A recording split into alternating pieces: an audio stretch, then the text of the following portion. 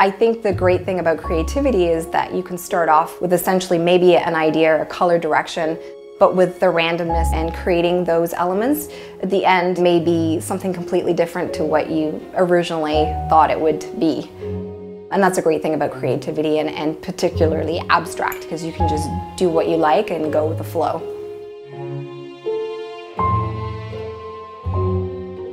My name is Jane Monteith and I am a contemporary artist working primarily with alcohol ink and resin. You can't get the same vibrancy, as far as I'm concerned, with any other medium. I would describe my work as a very saturated, textural, lots of layers and lots of color.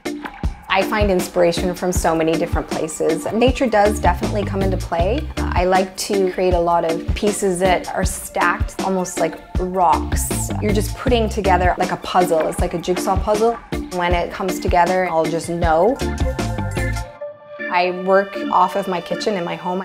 I have a very small space, but I have a lot of natural light, uh, which is really important as an artist, I think. And I always end up on the floor and just start creating. I'm just in my own little world, nobody else to bother me. You're not taking kids to school, you're not making dinner, you're just hanging out creating. I don't think I have any routines or rituals. I do have in my mind though a sense of direction, how I would like to take my art. You have to think about composition, especially depending on the scale that you're, you're working with. I have a color combination in mind and then I'll use a number of different tools to create different textures. Texture plays a big role. I create those with different techniques. The textures could be line work or just the way that I manipulate the ink. I like to have an organic feel, so I will cut everything out by hand. I like to keep pieces, I don't like to throw them away because down the road I'll be creating something else and then I'll see a piece off to the side and think, oh, that's the perfect piece that I need for that art. Every once in a while I get frustrated. You just need to mix the wrong color and you can end up with a muddy mess very quickly. I primarily work on Yupo paper, which is a plastic composite. It's what you need in order to work with alcohol ink. It's not a very forgiving medium. You, you, you, don't want it seeping into the substrate. It has to sit on top and it's a very fast drying medium. So you need to have different solutions and different techniques in order to extend the working time of the ink. I will use paintbrushes and I will just pick up the paper and move it around to create a soft look or I'll use rulers and things like that to drag across and, and create different looks that way.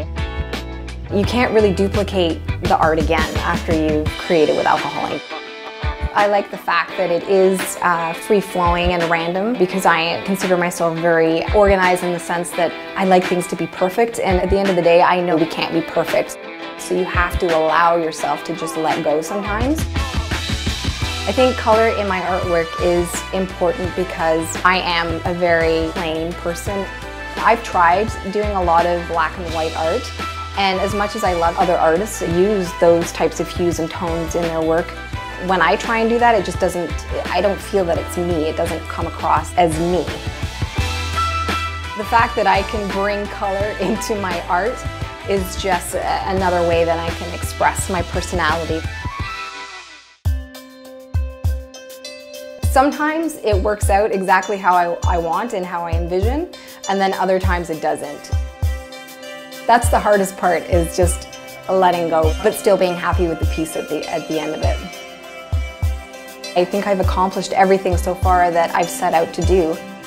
As soon as you start focusing on your art as a business rather than a hobby, you will become successful. At the end of the day, I sell my work online. I have a community that supports me. Every artist needs the support of another artist. I think there's so many artists who are afraid to talk with others and get ideas. I think you should. It, it helps you to become that much more inspired and that much more focused on your work and produce work that you're happy with. You can make a living doing exactly what you want to do. I think my ultimate goal is to do this for the rest of my life until I cannot walk anymore. It's just something that brings me so much joy and happiness on a daily basis. I'd never want to give that up. Being able to incorporate creativity into my life every day, that means the world to me.